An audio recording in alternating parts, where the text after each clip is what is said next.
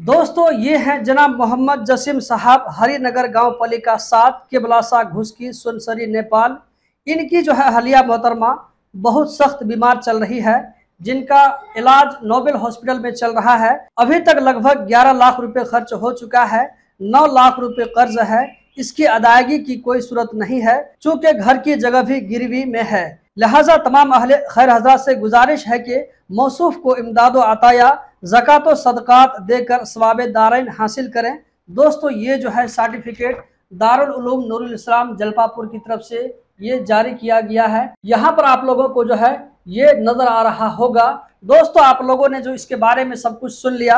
अब इसके मुँह से हम सुनने वाले हैं कि इनके साथ में जो है क्या दिक्कत, क्या प्रॉब्लम है और ये आप लोगों से क्या रिक्वेस्ट करना चाहते हैं, आप लोगों से क्या अपील करना चाहते हैं तो बताइए। और इसके अलावा जो यहाँ पर आप लोगों को हरिनगर गाँव पालिका की तरफ़ से भी ये जो है सर्टिफिकेट इनको दिया गया है। इसी तरह यहाँ पर नोबेल हॉस्पिटल की तरफ़ से भी ये डॉक्यूमेंट इनको दिया गया है। यहाँ पर दोस्तों बीमारी के बारे में यहाँ पर नज़र आ रहा होगा। जी हाँ बताइए तो ये जो है आप मुझसे मिलने क्यों आए हैं और आपका क्या मकसद है, क्या परेशानी आपके साथ में? ऑडियंस तक पहुँचाइए, हो सकता है कि ऑडियंस आपको कुछ मदद कर दे। तो बताइए, क्या बात है? हमारी बीवी बीमार हुई थी रमज़ान में। रमज़ान से दो तीन दिन कबल की बात है। इतना सख्त बीमार हुई कि उसको नोबेल हॉस्पिटल में लेके गए। तो एमरजेंसी में उसको वेंटिलेटर में रखा गया। और वेंटिलेटर का एक दिन का ख़र्चा पंद्रह हज़ार रुपया है। आईसीयू में बेड का बेड चार्ज जो है उसका है आठ हज़ार। दवाई, बग़ैर दवाई के तेईस हज़ार रुपया रोज़ाना उसका लगता था। और उसके अलावा एक एक दिन में पच्चीस पच्चीस, तीस तीस हज़ार रुपये की दवाई आती थी। इस तरीके से छः, सात लाख रुपया खर्च कर चुके। उसके बाद भी जब हमारा पेशेंट ठीक नहीं हुआ तो डॉक्टर बताया कि एम आर आई वगैरह सब कुछ करने के बाद सी टी एक्शन करने के बाद भी जब ठीक नहीं हुआ तो हमने डॉक्टर से कहा कि क्या बात, हमारा पेशेंट ठीक होगा कि नहीं होगा?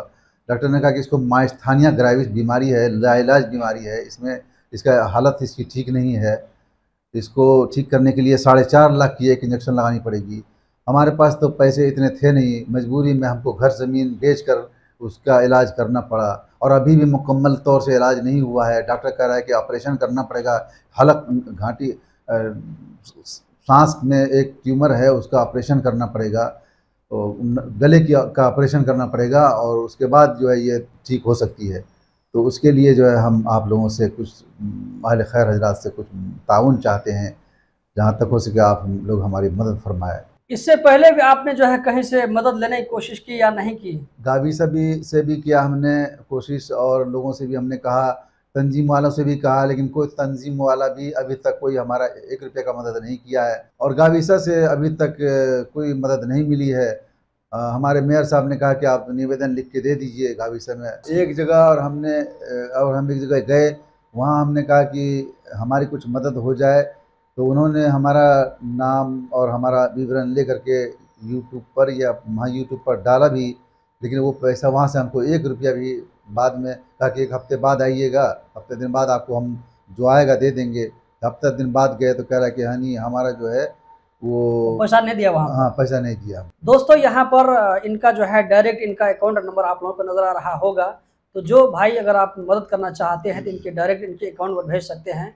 उसमें से जब मुझे एक रुपया भी कमीशन नहीं मिलेगा और चाहिए भी नहीं बस यह है कि आप लोगों की तरफ़ से दुआ चाहिए। हमारे लिए भी और इनके लिए भी और इनकी जो है जो जौजा मोहतरमा है इनके लिए भी दुआ करें कि अगर आप जो है हेल्प नहीं कर सकते हैं तो कम से कम दुआ ही ज़रूर कर दें। कि इनकी जो है हलिया मोहतरमा जल्दी से जल्दी ठीक हो जाए क्योंकि बीमारी और शिफा देना वो अल्लाह तबारक ताली के हाथ में है। वीडियो को ज़्यादा से ज़्यादा आगे शेयर करके ज़्यादा से ज़्यादा भाइयों तक पहुँचाएँ ताकि ज़्यादा से ज़्यादा भाइयों की दुआएँ हम तक पहुँच सके। हमारा ज़मीन और मकान दोनों बिक चुका है अच्छा। और अब पेशेंट भी हमारा मुकम्मल तरीके से ठीक नहीं हुआ अभी ऑपरेशन करना बाकी है। ऑपरेशन के लिए भी पैसों का इंतज़ाम नहीं हुआ है अभी तक। बस यही चाहते हैं कि अगर अहल खैर हजरात हमारी मदद करते हैं तो दुनिया से लेकर आखरत तक के लिए हम उनके लिए दुआ करेंगे। अल्लाह ताला जजाय खैर अता फरमाए, उनके जान माल में बरकत अता फरमाए, उनके कारोबार में तरक्की अता फरमाए, अल्लाह पाक। दुनिया आखरत दोनों जहान में ये भलाई नसीब करे, अल्लाह पाक। यही कहना चाहेंगे।